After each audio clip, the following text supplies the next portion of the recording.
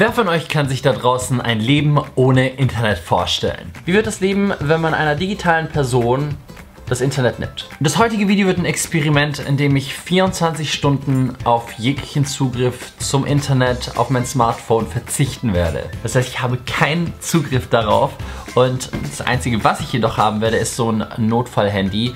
Damit kann man aber allerhöchstens einen SOS-Anruf tätigen. Und ich fordere natürlich jeden YouTuber da draußen aus, das ebenfalls auszuprobieren. Ich bin gespannt, wie euer Tag wird.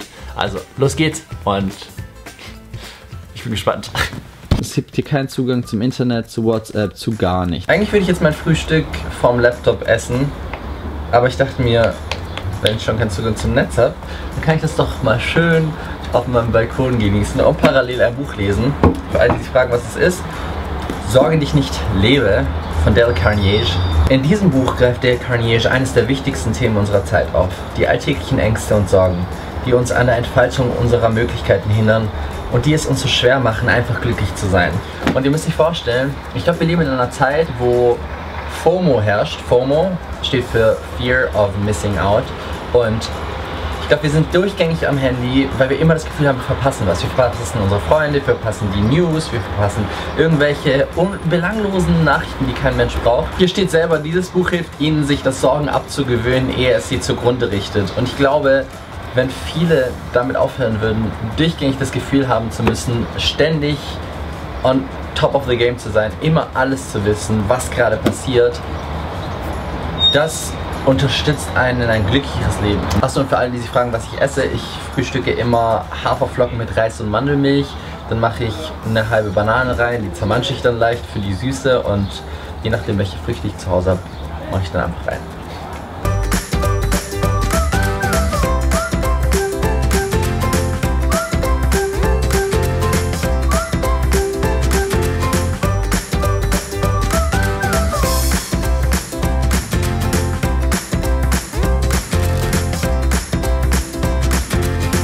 Jetzt schon irgendwie das Gefühl, ich denke ein bisschen anders übers Leben.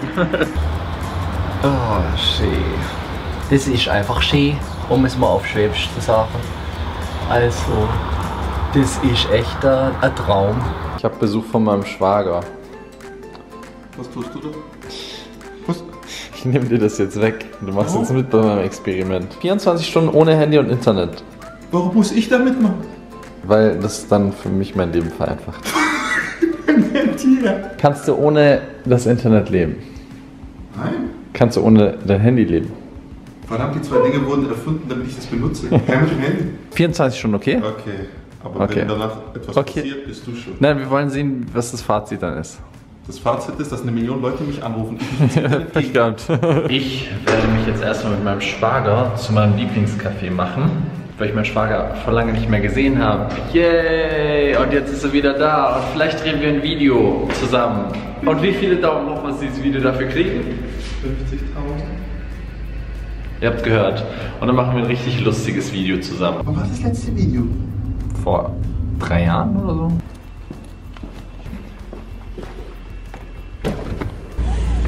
Und wie geht's dir bis jetzt so ohne Internet und Handy? Ey, ganz ehrlich, ist voll hart. Ich finde es so hart, verdammt nochmal. Ich will mein Handy. Ehrlich, ich habe die ganze Zeit das Gefühl, Dunja schreibt mir oder, oder keine Ahnung, jemand ruft mich an oder. Oder. Jeder will doch was von mir. Wie immer ist das Wetter in Berlin regnerisch. Das hält uns aber jetzt nicht davon ab, rauszugehen. Was ist eure Lieblingsjahreszeit? Schreibt es mir mal in die Kommentare. Aber ich kann dieses Wetter nicht mehr sehen. Ich brauche wenigstens milde Temperaturen. Mild. Da wäre ich schon zufrieden.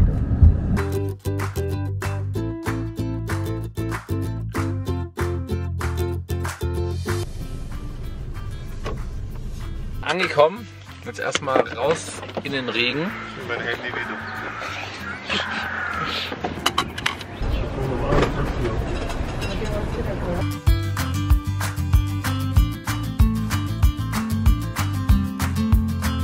Wisst ihr, was ich auch extrem krass finde, wenn man kein Handy hat? Man weiß nicht, wie spät es ist. 3, 2, 1 schlecht. Ja, warum bist du so schlecht? Ich benutze meine Finger für mein Handy. Die sind taub.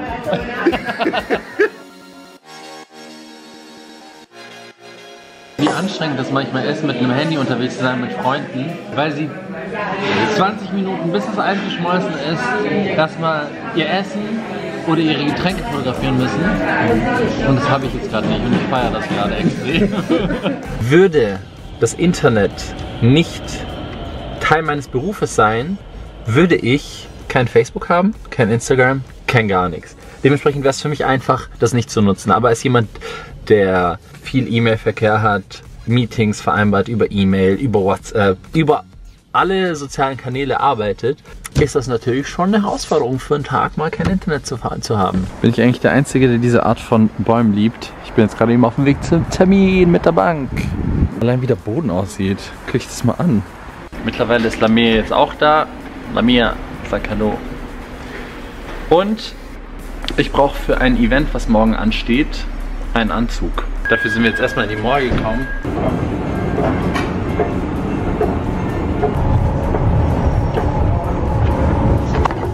Habe ich mir mal die Farben geholt. Wie findest du die? Wow! So. Wollen wir doch mal.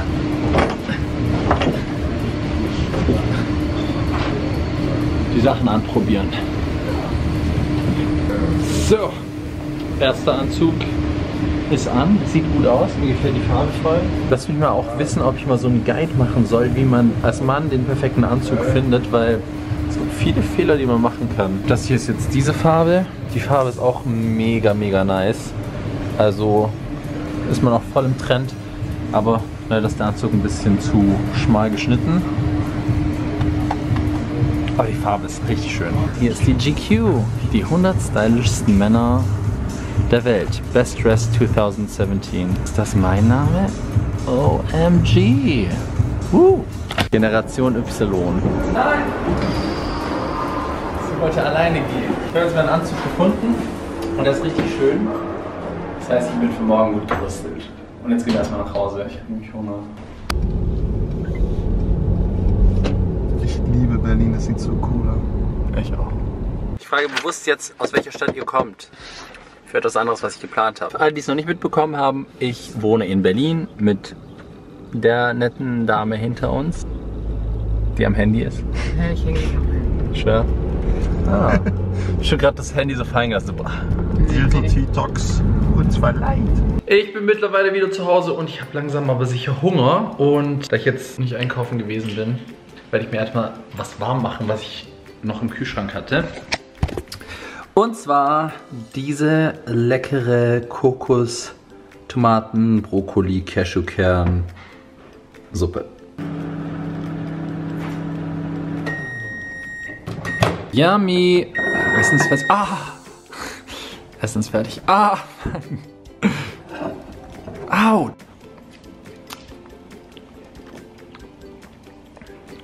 Ich hätte so Lust auf so ein Format. 15 Minuten Küche mit Sammy, wo ich euch Rezepte zeige, die ihr in 15 Minuten machen könnt. Wäre das was für euch? Mm. Und da man sich auf gute Freunde verlassen kann, sind die guten Freunde auch pünktlich gekommen und sie haben einen kleinen Huni mitgebracht. Moses, Ich muss jetzt was zu essen stellen. stellst du mir was mit? Ja, bei Lieferando. Ich guck aber nicht.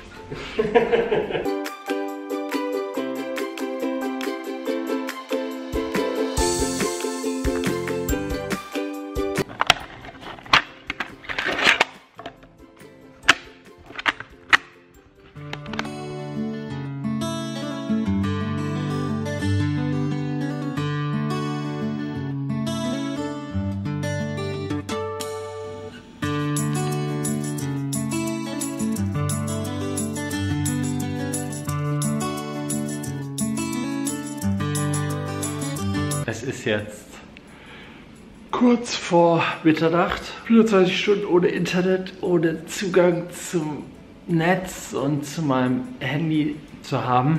Und ich will euch ein Fazit geben am Ende des Tages.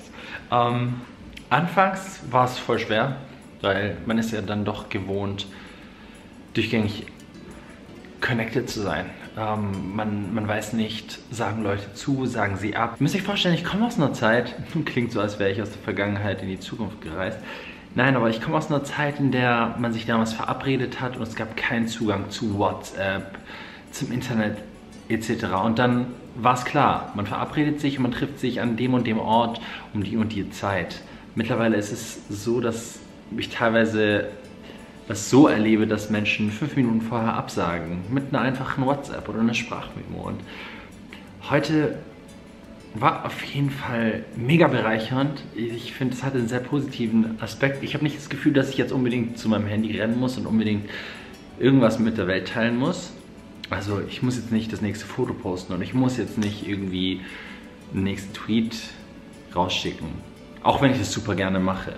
Ähm, versteht mich nicht falsch. Ich liebe es, mein Leben mit euch zu teilen und äh, euch zu motivieren, inspirieren, was auch immer ich tue.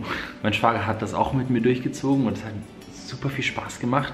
Die, die Gesprächsthemen wurden immer tiefer und man hat sich Dinge gefragt, die man sich wahrscheinlich im Alltag nicht fragt und man realisiert eigentlich, wie uns vieles vereinfacht wird durch so ein Gerät, durch so einen Zugang. Ich bin mir ziemlich sicher, dass mein Smartphone voller E-Mails und Nachrichten und Telefonaten ist, aber für dieses Experiment, 24 Stunden ohne Internet, was ja, war es mir allemal wert. Ich habe jetzt Spaß, abonniert meinen Kanal, um keine weiteren Videos zu verpassen. Ich poste jede Woche und ich hoffe, ihr haltet euch noch ein bisschen auf meinem Kanal auf. Schreibt mir gerne Kommentare und wie gesagt, bis zum nächsten Mal.